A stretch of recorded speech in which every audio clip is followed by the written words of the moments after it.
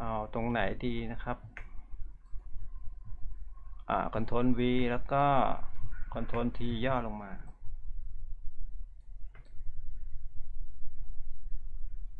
เดี๋ยวเอา เดี๋ยวเราลดโอภา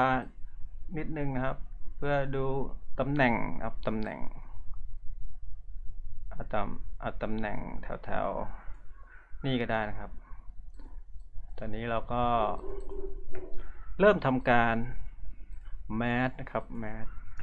เครื่องมือแมสนี่สำคัญมากจริงนะครับ สังเกตว่าเราจะใช้อยู่เรื่อยๆเลยนะครับ ตอนนี้เราเพิ่มก่อนเป็นร้อยครับนี่ตรง ตรงศีรษะตรงนี้อ่าเราต้องเคลียร์คลีนนะครับคลีนออกไป ลบเกินก็เอากลับเข้ามาใหม่ได้นะครับ ไม่เป็นไร ตรงนี้เกินไม่มีปัญหานะครับ ตรงนี้ เดี๋ยวเราลองลบออกไปนะครับ ลบออกไป เดี๋ยวใช้เทคนิคเดิมนะครับเราจะใช้โกดนะครับโกด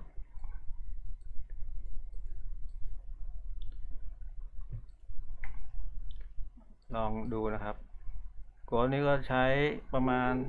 น้อยๆไปก่อนนะครับ เพื่อให้อ่าภาพของส่วนที่เป็นของโลมานี่ครับ มีความกลืนกับตัวผิวน้ำตรงนี้นะ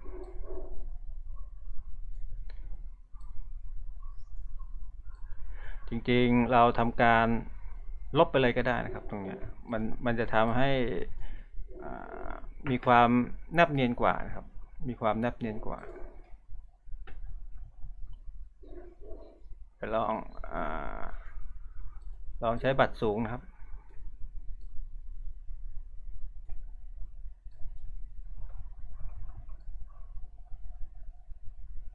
เนื่องจากตัวแบ็กกราวกับสีของอตัว ภาพของโลมานี่มันมีความใกล้เคียงนะครับ ก็เลยดูเหมือนว่าจะไปกันได้ เดี๋ยวเอาอันนี้ก่อนะครับ กดชิปนะครับ กดชิป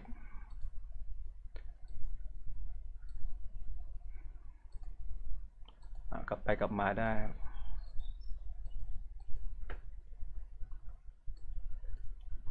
เนื่องจากว่ามันมีความใกล้เคียงเราจริงไม่ต้องร้อยก็ได้นะครับ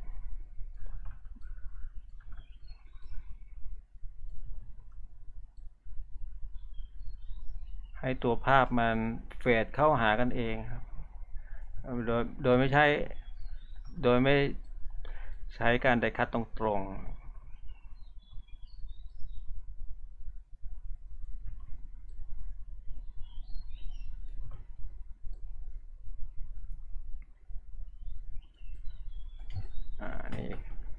นี่ก็เป็นการทดสอบอีกหนึ่งวิธีนะครับ ให้น้องๆได้เห็นแนวคิดในการทำงานครับซึ่งมันมีวิธีการมากมายครับในการประยุกต์อันนี้ก็ปาไปก่อนนะครับ เดี๋ยวเราก็เอากลับได้ครับ ตามวิธีการของเรา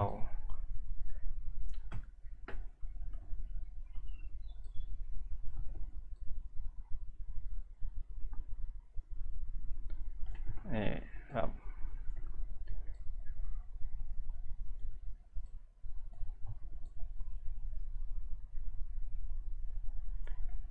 ปาด ไปเลยนะครับปาดไปเลย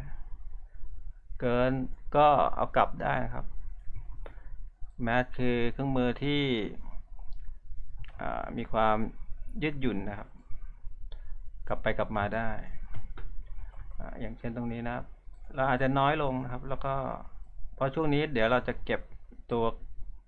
ตัวไอตัวสเปซของน้ำไว้นะครับ อั นนี้เราก็ลดได้อย่างนี้นะครับอลองปิด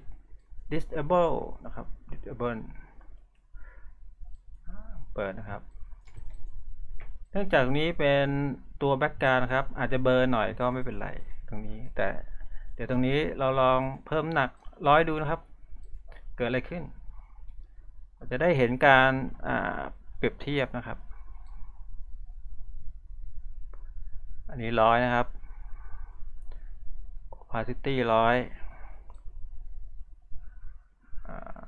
hardness เป็นศูนย์ครับนี่ก็ถือว่า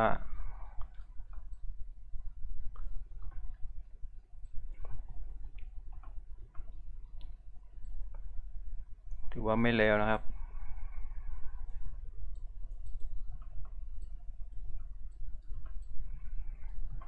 นี่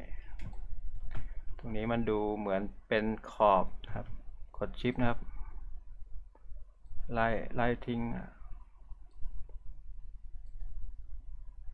นี่ ก็ดูโอเคขึ้นนะครับ ได้ครับไหนๆก็ร้อยแล้วนะครับ ก็ร้อยต่อไปครับคอนโทรลแซนครับ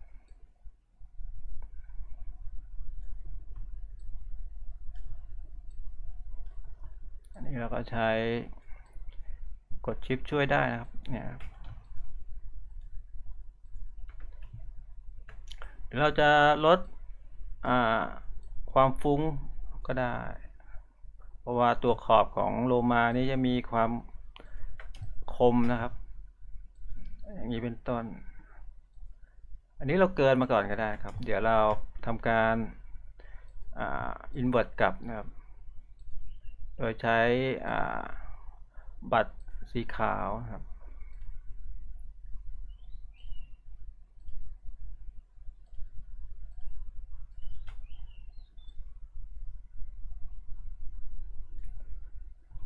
นี่มาแล้ว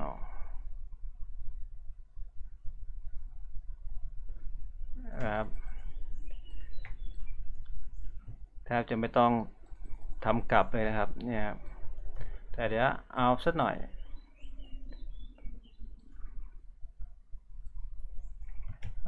แรงไปครับ อ๋อ เราต้องปรับปัดให้มัน นี่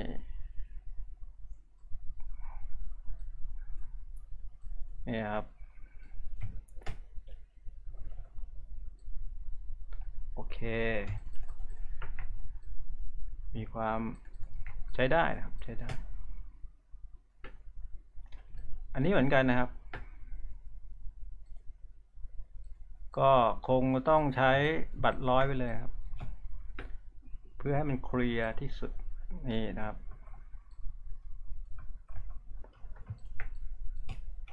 ชิปช่วยนะครับชิป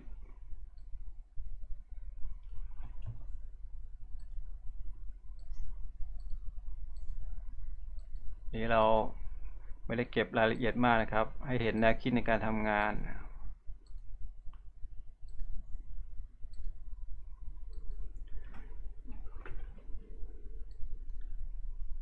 นี่ครับ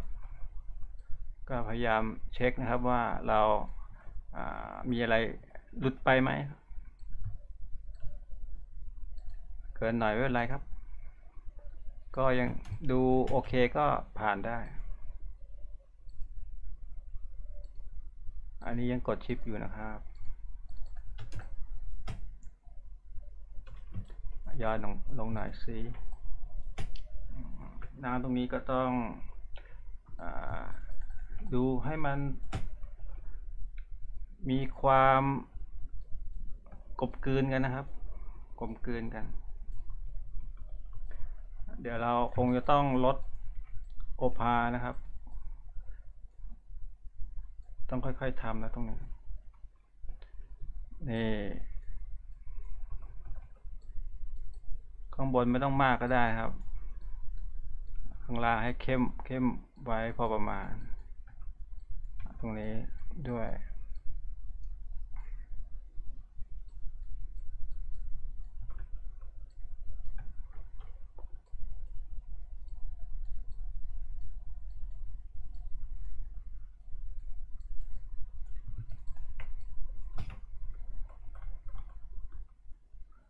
พิ่มหน่อยครับ เพิ่มหน่อยร้อยไปเลยนะครับ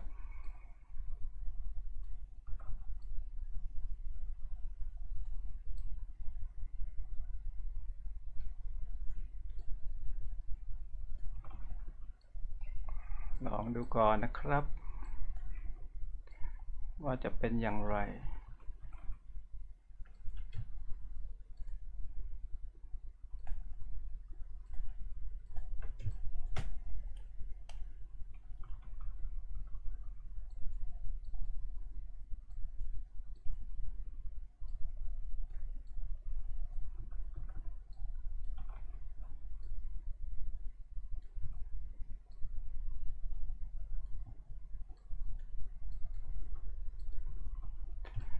นี่ก็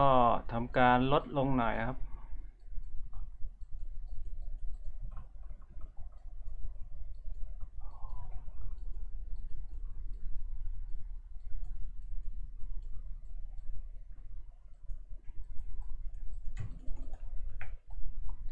นี่ก็ลดตรงนี้อีกหน่อย ให้มันกลืนนะครับ ดูระยะแล้ว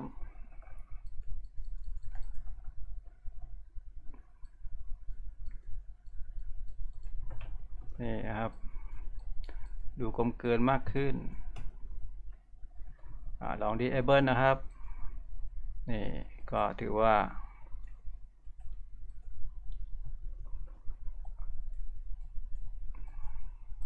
ฝากอีกทีหนึง โอเค ตอนนี้ก็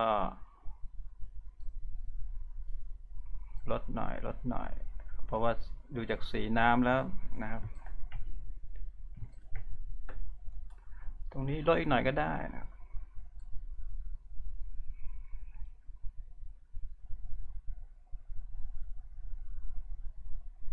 เอ๊มีสีแดงไม่เอา อันนี้แหละครับนี่แหละอ่าดูระยะไกลก็ถือว่าโอเคครับ ส่วนพวกทุนอะไรนี่เก็บไว้ก็ได้ครับ เอาไว้เป็นตัวเสริมครับ พื้นน้ำจะได้ไม่เจืดชืดมากนะครับ มีสีสันขึ้นมาหน่อย ตอนนี้เดี๋ยวเราปรับน้ำหนักของโลมานะครับ เจ้าของภาพบอกโลมาครับ ดูจากข้างหลังแล้วมันก็ตอนแรกก็ไม่แน่ใจนะครับ แต่เจ้าของภาพบอกโลมา โอเค ตอนนี้ครับเราก็จะทำสีภาพรวมนะครับ สีภาพรวม เดี๋ยวลองเพิ่มตัวฮิวนะครับ ปรับ น้ำหนักภาพความจัดแล้วก็เพิ่มน้ำหนักหน่อย เลเวลนะครับ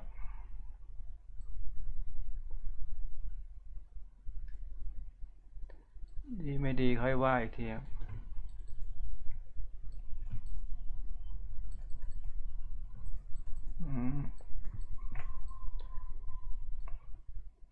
ลองปิดนะครับ ลองปิดเยอะไปแล้วก็เอาออกนะครับ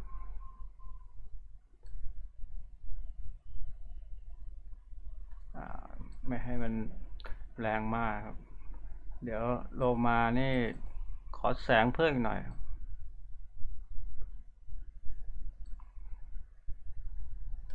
ออกมาก็ไม่ได้ครับ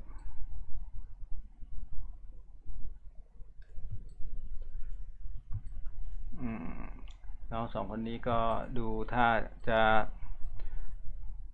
ไปด้วยกันได้ครับนะครับ คอนโทรลศูนย์ครับครับ นี่ก็ เราก็ได้ดูวิธีการนะครับ การใช้เครื่องมือโคนสแตมป์ทูลนะครับ ซึ่งมีความสามารถในการปรับแต่งภาพนะครับ ที่เราอ่าไม่ต้องการนะครับ บางส่วนนะครับ ทดแทนโดยพื้นผิว ตำแหน่งอื่นๆนะครับ ซึ่งเป็นเครื่องมือที่มีมานานมากแล้วครับ เรียกได้ว่ามาพร้อมกับโปรแกรมเลยก็ว่าได้ครับ เป็นเครื่องมือที่มีประสิทธิภาพ และเป็นตัวที่เรียกเด่นที่สุดนะครับ มีความโดดเด่นมากที่สุดเครื่องมือหนึ่งนะครับ ในโปรแกรม Photoshop นะครับ ซึ่งวันนี้ก็ได้ทำ ตัวอย่างนะครับ ให้ดูประสิทธิภาพบางอย่างครับ ซึ่งจริงๆแล้วโปรแกรมเครื่องมือนี้จะทำได้หลากหลายมากกว่านี้มากนะครับ ซึ่งต่อไปแล้วคงจะได้เรียนรู้กันไปเรื่อยนะครับ ขอบคุณน้องๆที่ติดตามถึงตรงนี้นะครับ อย่าลืมกดไลค์กดแชร์กด Subscribe เพื่อเป็นกำลังใจให้ผู้จัดทำนะครับ ส่วนวิดีโอหน้าจะเป็นอย่างไรนั้นให้ติดตามกันต่อไปนะครับสำหรับวิดีโอนี้สวัสดีครับ